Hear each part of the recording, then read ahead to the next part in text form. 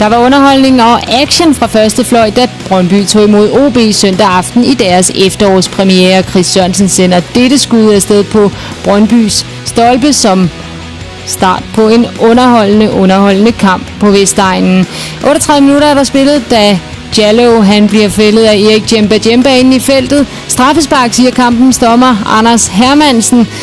Der var ikke særlig mange, der var enige med ham søndag aften i Brøndby. Men det giver altså en gylden mulighed til Brøndbys Osman Jallo, som selv får lov til at eksekvere skuddet på Anders Lindegård og sætte, placerer den sikkert i det modsatte hjørne af keeperen. To minutter senere, ja, så er den gal ned i det modsatte målfelt.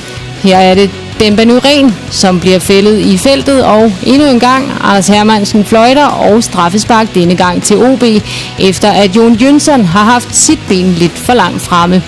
Dengang gang er det Chris Sørensen, der eksekverer skuddet 1-1 mellem Brøndby og OB ved pausen.